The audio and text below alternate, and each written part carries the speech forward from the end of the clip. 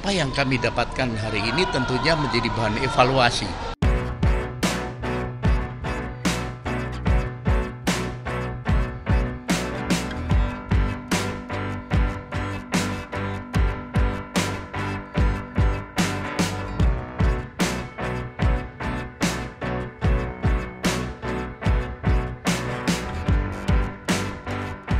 Ini forum pra peradilan ini adalah menguji secara formal bagaimana penetapan tersangka eh, terhadap Peggy Setiawan. Kami hadir untuk mendengar langsung pertimbangan-pertimbangan hakim.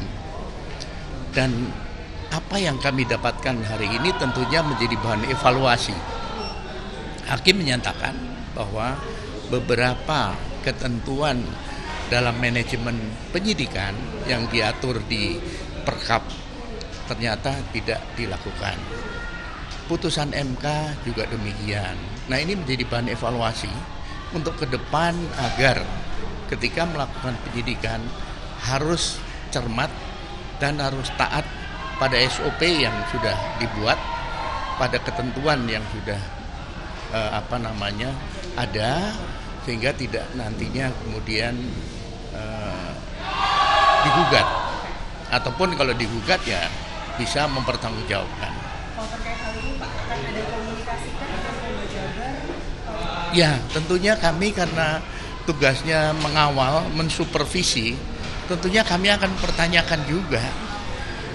Tapi Pak, apakah dengan adanya putusan yang tadi diberikan oleh hakim, kemudian sanksi-sanksinya seperti apa seperti Nah, itu nanti internal. Nanti internal dari pihak eh, Polda Jabar tentunya yang akan eh, mengevaluasi ya. Karena ini masalahnya kan kasus ini warisan dari penyidik terdahulu kepada penyidik yang sekarang. Nah, makanya berkali-kali saya sampaikan dalam beberapa eh, forum, tolong ketika ada estafet penanganan kasus yang lama belum terungkap, ini agar hati-hati. Yang menerima harus cermat meneliti satu persatu. Sudah ada atau belum? Kalau belum minta dilengkapi dulu. Ini kan seperti terungkap di persidangan kan ketika diwariskan ada hal-hal yang formal itu belum dilakukan oleh penyidik sebelumnya. Nah, kemudian yang kedua yang saya sampaikan juga bahwa tolong diantisipasi kasus-kasus yang masih belum terungkap atau cold case. Ada beberapa pembunuhan ASN di Semarang, mahasiswa UI yang ditemukan di danau, pembunuhan pelajar di Bogor sudah sekian lama. Ini agar dievaluasi kembali, kemudian belajar dari kasus ini. Cek lagi satu persatu supaya ketika nanti tertangkap pelakunya, maka pembuktiannya sudah lebih jauh lebih mudah.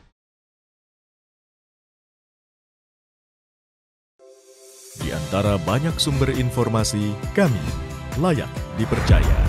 Karena kami menggali lebih dalam, berpihak pada kebenaran,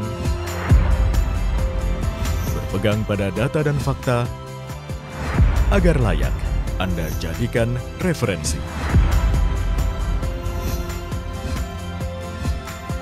Kompas TV, independen, terpercaya.